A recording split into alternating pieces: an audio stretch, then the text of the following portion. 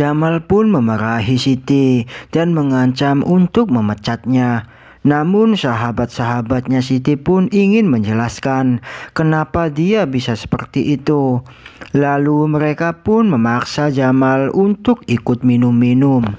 Jamal pun dengan tegas menolak ajakan mereka.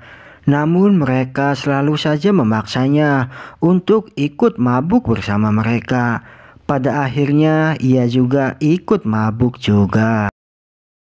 Tidak disangka Anis mengawasi Jamal dan mengikutinya karena waktu di hotel ia ditinggalkan dan ternyata di sini malah ia mabuk-mabukan bersama para gadis. Siti pun bangun dari tidurnya. Lalu ia kebingungan Kenapa bosnya ikut mabuk bersama mereka? Anis pun hampir ketahuan oleh mereka dan Anis pun pergi. Siti pun membawa Jamal ke tempat tidur. Jamal pun meracau dan menyebut nama Anis sehingga membuat Siti merasa kesal lalu memukul wajah Jamal. Anis kecewa sama Jamal yang mabuk-mabukan bersama mereka.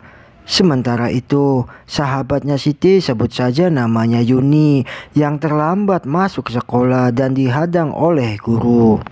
Karena Yuni anak orang kaya, ia pun boleh masuk ke kelas tanpa adanya sebuah hukuman. Jamal terlihat di penjara, namun Siti malah acuh tak acuh.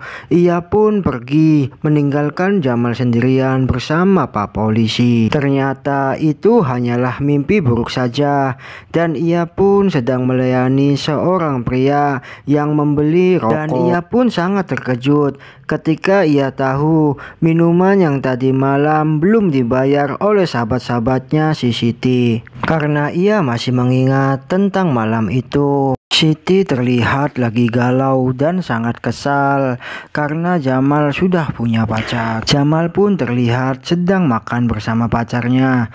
Namun ia merasa bersalah padanya karena meninggalkan dia di hotel sendirian.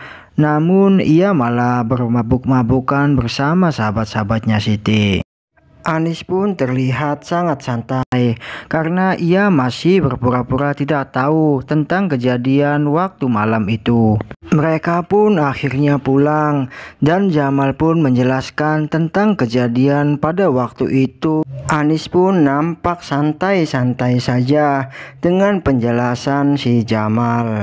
Walaupun ada sedikit perdebatan di antara mereka berdua. 홍군형을 내서 쫓아냈구나. 음, 그렇지, 그렇지.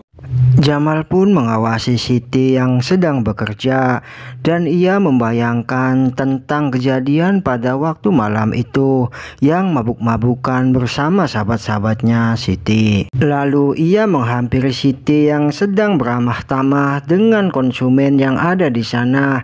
namun sayangnya Jamal mengacaukan dengan berkata yang tidak pantas sehingga membuat pelanggan itu tersinggung dan kecewa.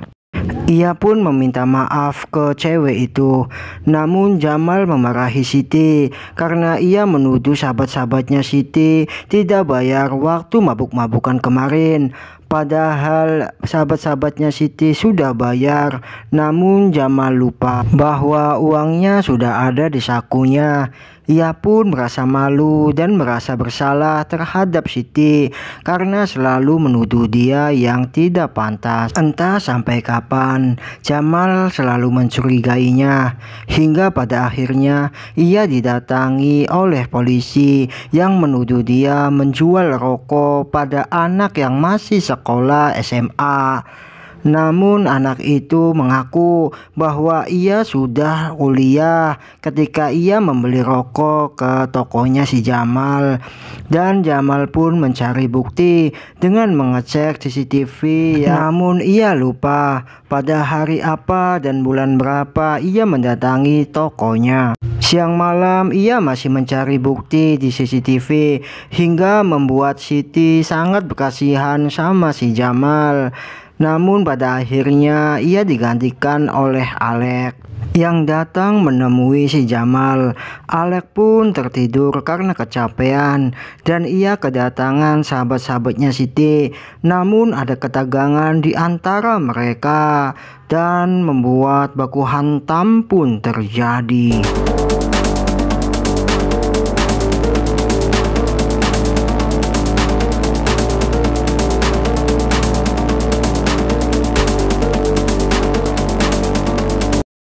Mereka pun akhirnya dilerai oleh Siti dan Jamal. Dan tiba-tiba Jamal ditelepon oleh pacarnya karena mobilnya mogok. Lalu Jamal menghampirinya. Anis pun terburu-buru pergi meninggalkan Jamal karena ia akan ada rapat dan Jamal pun membawa mobil itu ke bengkel tapi tidak disengaja, ia bertemu dengan pemuda yang waktu itu membeli rokok dan menanyainya kapan ia datang ke tokonya. Jamal pun terlihat kecewa karena ia tidak mau memberitahukannya. Setelah Jamal pergi, Siti menemui pemuda itu. Ia pun menghajar pemuda itu tanpa sepengetahuan si Jamal. Pemuda itu sangat ketakutan dengan gaya si Siti yang sangat brutal. Lalu ia memberitahukan tanggal dan bulan berapa ia datang ke tokonya si Jamal. Lalu Siti pun meninggalkan pemuda itu sendirian. Lalu ia mengecek CCTV. Mereka berdua pun sangat senang. Lalu Jamal pun mengobati lukanya si Siti. Dan ada tatapan manja yang ada pada kedua orang itu. Bagi Siti, itu adalah momen yang paling dagdikduk karena mengingatkan tentang tiga tahun yang lalu.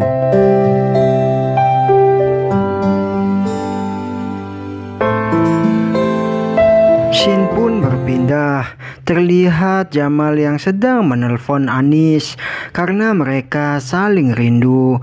Namun Direktur Cho datang sehingga mengganggu percakapan mereka. Sebenarnya Direktur Cho itu suka sama Anis, namun Anis tidak meladeninya karena di hatinya ada Jamal seorang. Terlihat Siti yang sedang menonton video, video Jamal yang sedang berjoget, dan Siti pun mengikuti gayanya.